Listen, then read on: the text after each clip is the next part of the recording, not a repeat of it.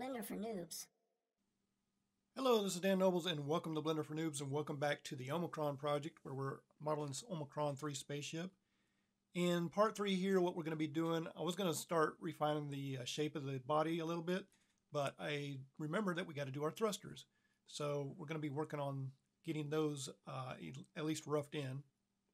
So in order to do that, we're going to go back to 7, which is our top view, and we're going to create a basic cube for our thrusters here. So Shift A, go to Mesh, choose Cube, and I'm just going to bring it out to this area right here. And now you can kind of see where the uh, empty mirror comes into play. So if I do a Control Up arrow, and by the way, if you haven't already, go ahead and save your uh, file. And I'm just going to do a file save as and I am on version 3 here. Save as blend file.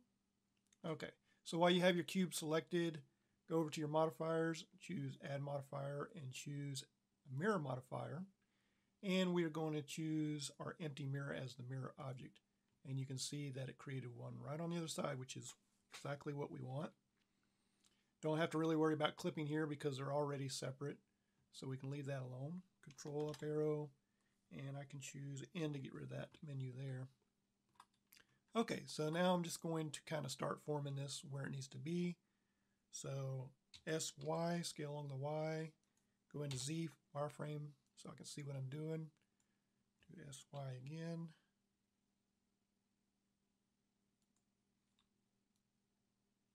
Right about there, SX, scale along the X.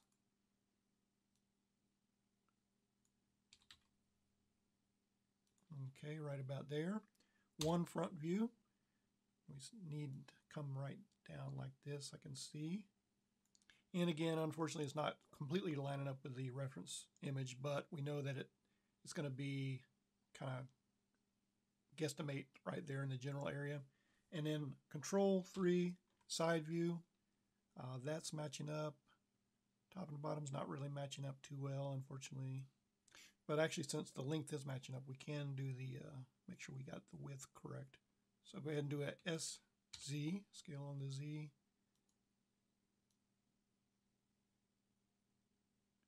And right about there. So that's as close as we can get in object mode. So now we're going to start adding some edge loops to this. And in fact, let's go ahead and um, select the body here.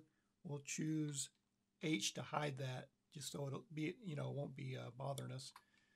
And choose our thruster cube here again, tab into edit mode, and now we can start adding some edge loops. So control R, add an edge loop. We got an angle right there that we need to take care of. Control R, add an edge loop. We have one right there. Another edge loop, control R, right there. And there and there. Got all kinds of angles on this. And there. One right there, which is that bend right there. And Control R. And looking at the bottom, we have an angle right there we need to take care of. And another one right there at the bottom. And one more right there on the top. And Control R another one at the bottom right there. Okay, that will take care of the, uh, the top and bottom. We also have the side to take care of, of course. And if we look here, we know this is going to take care of this point right here, but we still have, let's see, that's going to be okay right there. So these looks like, like they're taken care of. However, we don't have this flat surface right here. Let's see, bring that down. Oh yeah, we do. Okay, so that's taken care of. Bring that up there. That'll take care of that. That'll take care of that. We might be all right here. Let's see. Let's go ahead and do some of these and see what's going to happen. So be box like these. Just bring that down. Okay, so we have this, this bin right here that's not being taken care of. So I need some geometry there. Control R. Actually, let me put this kind of in the middle. And another one for that bottom one. Put that in the middle too. Just want to get it away from this top piece so it doesn't get in our way. So B box select these, and I'm just going to G move these into position here, and B box select these. I'm going to move this down and just try to get kind of a kind of where it doesn't stretch any verts too much, right around there. And B box select these, and let's see, move these down and in. So right about there, and I see I do actually, well, this this vertices or these verts will take care of that. Okay, so far so good. So let's continue on with these. Bring those down. Those down. And pretty much all these come down like so. And just working my way around here. Probably get away with um, bringing these in. Let's see, I don't want to really get in the way of those other ones. So let's just take all this.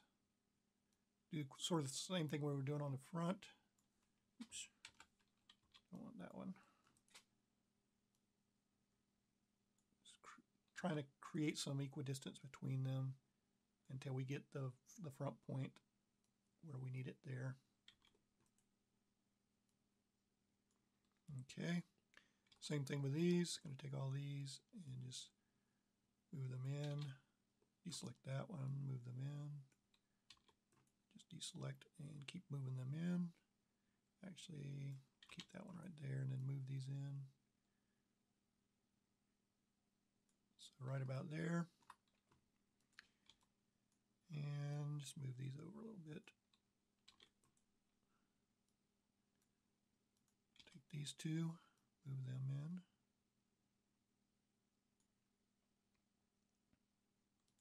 B box like this one, move it up to the corner where the corner should be, right about there.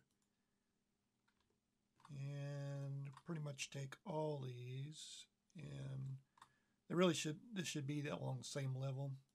So just move this up a little bit, right about there.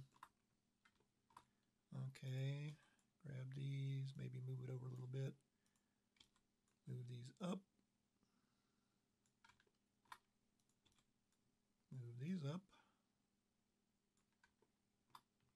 And move these up. Like so. So if we go to Z solid view, you can see that we're starting to end up with something that looks like our thrusters, but not quite yet. We need to go to one front view choose Z. And this is where it's going to be a little bit of a problem because my reference image doesn't match, but I'm just going to move it around a little bit more to make it easier. So in, go and find the front view. And I'm just going to move it over and actually scale it down a little bit. See if we can get it to fit in here. So again, you notice I'm not changing my geometry. I'm just basically uh, changing the, the reference view to fit here.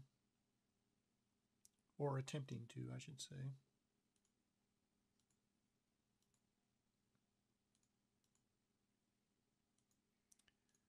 Let's try 0.70 right there. And needs to come down.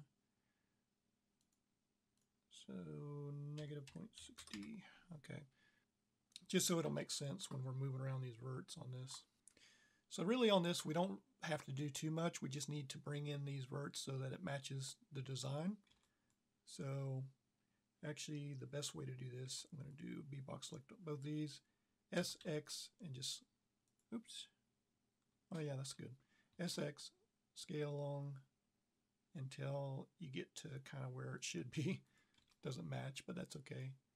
SX, grab all these, bring these in, make sure it's kind of going along the same angle if you can. SX. And just gonna grab all these here, SX, bring these in. And for some reason, oh, I'm bringing them in too far. That's the problem. SX, bring those back out. Oh, what exactly am I doing here? Not paying attention. SX, bring them in. Really need to be right there.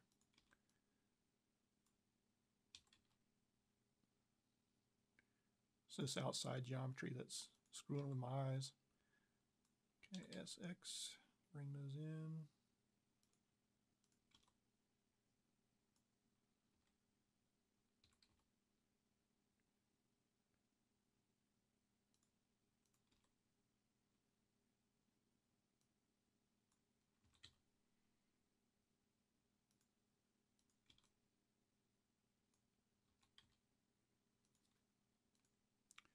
Okay, so far so good.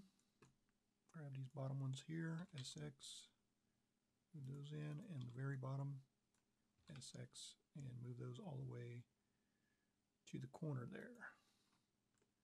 And what are we looking like here? Something looks weird. Well, one, one of the things that I need to do, let me go to three side view. Is we need to relax some of these angles that go along here. So I can just choose actually all of this, just kind of pull it up a little bit. And same thing with these, pull these down. Okay. And I can see kind of some problems where this is sticking out too much, but I don't want to get into that too much right now because we will be going and refining these as well. Okay, so control up arrow, come back to our view here. I can choose N to get rid of that menu.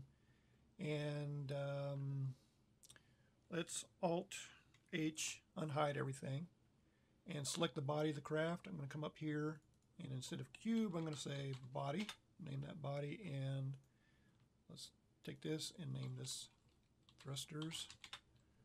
Okay, and that's only two pieces we have right now. But I'm going to choose one front view and one more piece for right now. I'm going to choose Shift A, Mesh, create a cube. And I'm going to bring this over and this is going to be for these struts here. This is just going to be a placeholder just so we can kind of see the body, the uh, entire craft a little bit better for right now. We're going to actually get, going to be putting some cross members in there, but uh, we're just going to make this for right now. So while that's selected, um, add a modifier, add a mirror modifier, and choose our empty mirror. So we're mirrored there. Go into Z and tab into edit mode and make sure your verts is selected here. And I'm just going to B box, box like this and choose G to move this right to that point. B box like this, G to move that right to that point. Same thing with this. Just want to kind of mimic the basic shape here. Okay. And actually we need a top view as well. Get that in place. So it's going to be right here. And SY, scale it down a little bit. And just basically trying to get it into place here. Now it's going over over um, through the body of the ship because the bottom of the ship is actually you can see that it's curved down a little bit. That's why it looks like that.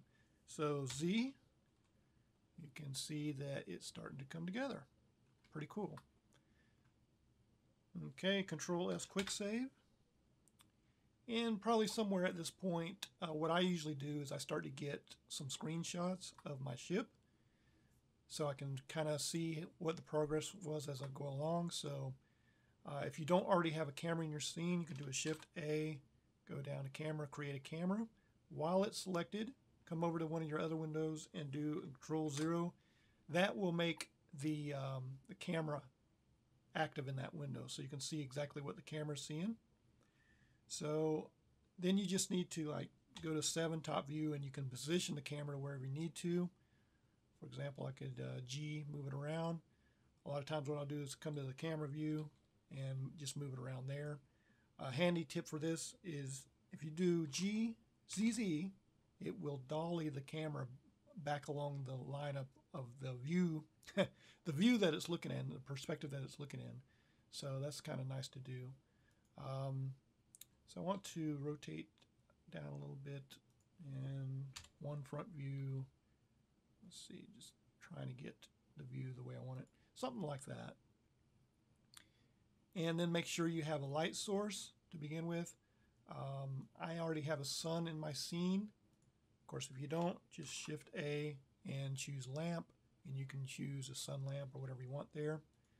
And right now, I got it kind of pointing off that way. You can rotate it, make sure it's kind of pointing the way you need it to point. Go to the sun and the properties, and I have mine set to a strength of 3. The color is white, um, but that should work fine. You can also look in your world view. I have my background set up to kind of a blue color, which is fine for now. We'll be changing all this stuff around to get our, you know, our good render later on, but this is okay for now. Control S quick save, and now I can do an F12 to render. Oh, by the way, when you render, of course, go to go to your render settings, uh, check out your settings. I have mine set to 1280 by 720 as far as the resolution at 100%. Um, then you want to look under sampling. And my preview render, which is if I do a Shift Z and get like this nice, you know, overall render, this is the same thing as going to shading and choose the rendered mode. And choose Shift Z back to solid and that that view is that preview uses 10 samples. It's very quick. It's kind of what you want usually for your uh, quick rendered view. But your F12 render your main render I've got mine bumped up to 300 that's all we really need for right now. So you want to make sure that's set. Uh, that's pretty that's pretty much all you need to set here. I use my tiles. I, I set my tiles at 128 by 128 that's kind of a nice even uh, way to render. At least that's what I found out. Um, and I got set to JPEG. So those are the main settings. And of course, I have Cycles Render turned on. And if you don't see the samples settings and all that, then that is the reason you don't have Cycles turned on. Uh, if, if you're new to Cycles rendering, you also want to go to File, User Preferences, go to your System tab up here and scroll down and look at the compute device. Uh, if you have the option, you want to use CUDA and you want to choose your graphics card here so it will use your graphics card processor to render from. It's a lot faster. Uh, if you don't, and then of course save settings, but if you don't see that on here, you can still render in cycles You'll just have to come to your render settings here, come to device and choose CPU instead of GPU compute. But if you do, if you are using your card there, the CUDA, CUDA, then you want to make sure this says GPU compute. Okay, so I think we're all set. Control S quick save, do an F12 render.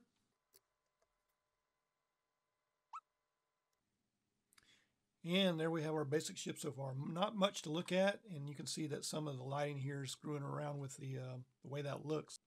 But it is the very beginning, so I'm just going to choose image, save as image, go to my screenshots, and I'm going to call this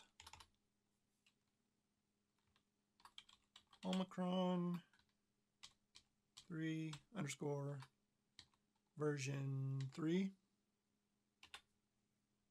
and save as image and escape out of that view. And so basically what I do is I keep at least one camera set in that same view. So once I do a render each time, I can see the progress of, of what the ship is looking like as we go along. Okay, so that is the end of part three of the tutorial. In the next part, what we're going to be doing is what I thought we are going to be doing this time is we're going to be uh, further refining the shape of this ship and, and pretty much cleaning up some of this geometry. And if we have time, I'll go to the thrusters and we'll do that as well there. So I'll see you in the next tutorial.